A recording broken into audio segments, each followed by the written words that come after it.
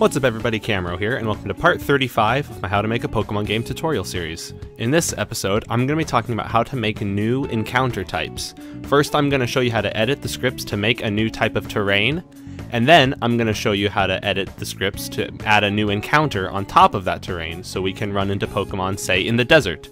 With that said, let's get into it. So, the very first thing you want to do is go into your scripts, and open PB Terrain. Scroll down a bit and find PB Terrain. Now if you scroll up to the top of this, you'll see right here, there's all the terrains and then their tags, which are just a number. So ledge is tag 1, grass is tag 2. So we want to add a new one. I'm going to add one for a desert. So we're going to be making a desert sand tag, or a type of terrain. So just underneath puddle, I'm going to type in desert, and we're going to make desert tag number 17. So now, if any of our terrain has the tag 17, then it will be a desert tile. So, what you need to do next is make a function. I'm just going to copy the isIce function. Really what this does is it just returns the desert tag if the tag if the um, tile you're standing on is desert.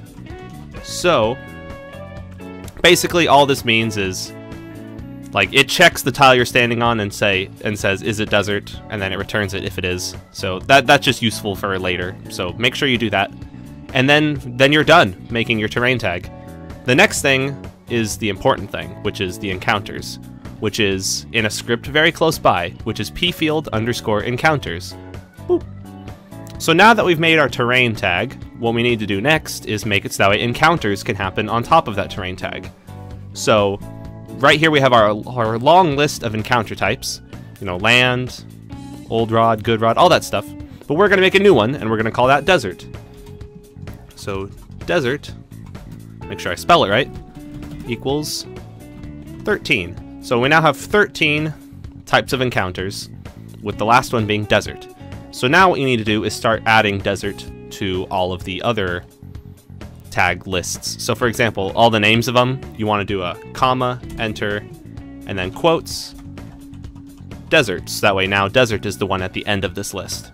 And you're also going to need to do that for enc type chances. So the way that this works is each number is a Pokemon, and like the value is how common it will show up in your desert or in your encounter. So like for example, this first one is land. So in land, you can plug in, let's see, 1, 2, 3, 4, 5, 6, 7, 8, 9, 10, 11, 12. So you can find 12 Pokemon on land, where the first two show up at 20% of the time, and then the next four show up 10% of the time. And you want them all to add up to 100%. So what I'm going to do is, I'm going to copy, let's copy this one, 730. I think that's Old Rod. Yeah, Old Rod. O Old Rod, you can only see two Pokemon. But the first one shows up 70% of the time, and the second one shows up 30% of the time. So you can really make it as long as you want, as as long as it uh, adds up to 100% for all the Pokemon. So let's just make it so in our desert, only two Pokemon can show up. And one of them happens 70% of the time, the other one shows up 30% of our time. But if we really wanted to, what we could do is make it so we can see 100%, we can see 100 different Pokemon, but they all show up 1% of the time. It's possible to do that if you want. The next thing you need to do is the densities to show, like, to make it how common that they appear. So 25 density, that's like the default density. 25 density is um, land. Uh, well, let's just make our sand in the desert 25 density as well. So make sure you add that to the end of this list. And then enc type compile dense. To be honest, I don't know exactly what this means, what it does, but I'm going to be copying land's value, comma 1. And there you go. So now there's really only three other things that still need to be done, and one of them is very easy because you're just copying. Actually, no, they're all very easy because you're just copying what's already been done and fixing it to be for yours. So for example, scroll down. This function is cave. I'm just gonna copy it, paste it down here, um, press the right keys, and change it so that way now it is is desert and it will not be desert if the density is nil. Otherwise, it will return the encounter types of desert. This might not be necessary, but just for now, for safe for safety, we'll put that in. Now, the next things the two big things are encounter type and is encounter possible here. We want encounter to be possible on our new terrain, and we want to be able to specify the encounter types. So, let's see exactly. What you can do here is copy, paste, copying and pasting the is cave stuff again. But if is desert, return encounter types, desert. Ta-da.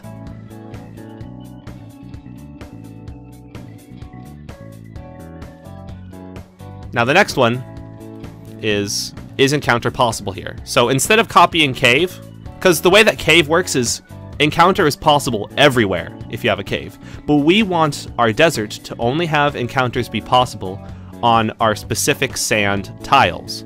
So what we need to do then is instead copy the is ice right here. So the way it works is if the tile the player is standing on is ice, return false. You cannot encounter there. But we want to do basically the opposite, where if the exact tile we're standing on is desert, so I'll change that, is desert, return true. So if the tile you're standing on is desert, return true. They also do it similarly below, is grass, where basically they get your player coordinates and then they check the terrain tag of your coordinates. And if that terrain tag is grass, then it returns true. So essentially, if you're standing in grass, you can have an encounter. If you're if if you're in a cave, the encounters happen everywhere. If you're standing on a desert tile, then yes, return true. You can have a uh, encounter there. So now that all of our script editing has been done, we've changed our encounter scripts and we've changed we've added our terrain tag. There are a few other things that still need to be done, but we're really close to being done.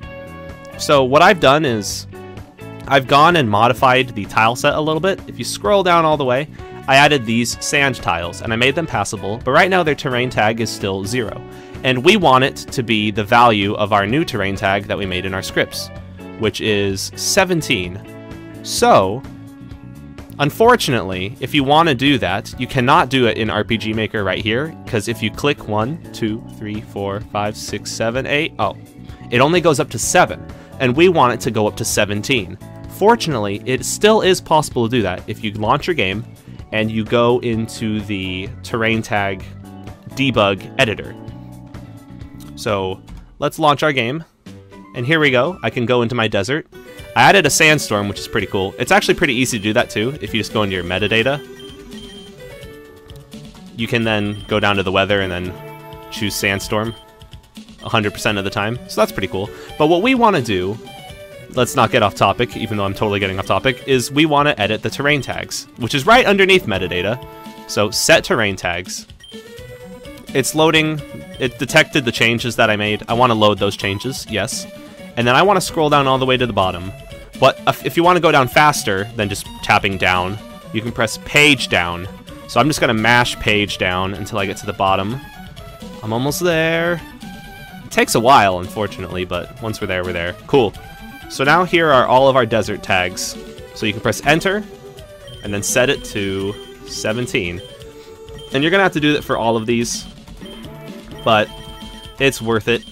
The effect of making your own desert is kind of cool, so we'll put up with the uh, frustration of single-handedly editing each and every one of these for the end result. We're almost there. Cool. Now all of them have been changed to 17. So we can save the changes, yes. And one thing that you need to do is to ensure that changes remain, you have to close and reopen RPG Maker XP. The reason they do that is because if I if I hit Control S and saved right now, it would overwrite the 17s that I just set. So I want to close this real quick. Hey, look, I'm looking at Reddit. Um, and then I need to reopen my game. Cool. So now if you go into the editor for your uh, terrain tags and stuff, scroll down, there won't be any numbers on these because they're using a number higher than RPG Maker displays. So if you successfully did all of this right, there should not be any numbers here, which means that they will be 17. You got you got to trust me on this. Those those are 17 now. So cool. Now, all of these tiles for the sand that we've got here in our desert are 17, which means they're a desert tile, which means an encounter can happen on them. So now, for the final step in all of it, to wrap it all together, the desert magic is about to is about to all collide. Almost there. What we can do now is go into our game and then set encounters of this map, and then from the list we will now be able to select desert encounter, and then we will now be able to encounter desert Pokemon. So let's go to the map again. Let's go up to our set encounters for this map, a new encounter type, and let's make it a desert encounter. So we'll make it just Bulbasaur's for now. I mean, I, I actually want it to be Trapinch, because I think that'd be cool. I just gotta find him real quick. There he is. So let's make it so Trapinch shows up 75% of the, I mean 70% of the time. And um, Vibrava shows up 30% of the time. Almost there. There he is.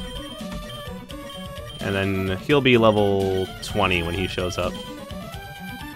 Cool, so you can set the mins and maxes in this too, but there it is. So now, on our map, we have Trapinches and Vibravas show up when you walk through the desert. And so far, it looks like it's working perfectly. There's our Trapinch, and there's our Sandstorm. It's all working perfectly.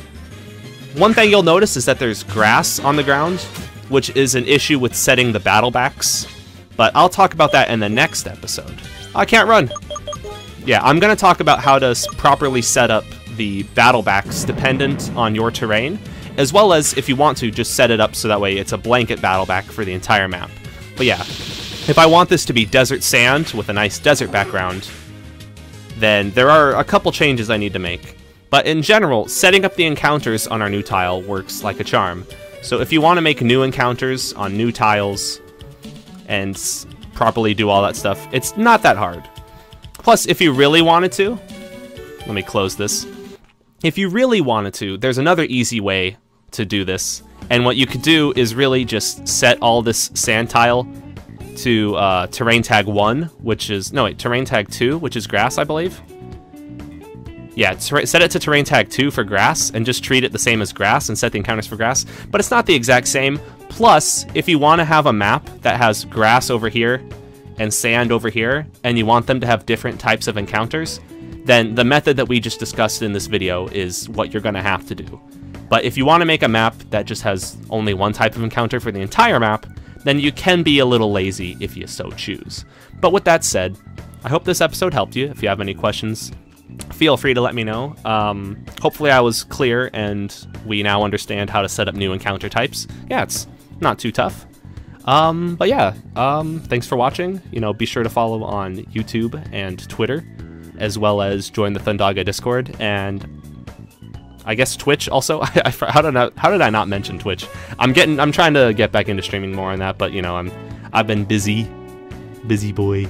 Um, but yeah, I hope to see you guys next time, and once again, I hope this helped you out. I'll see you there. Bye, guys.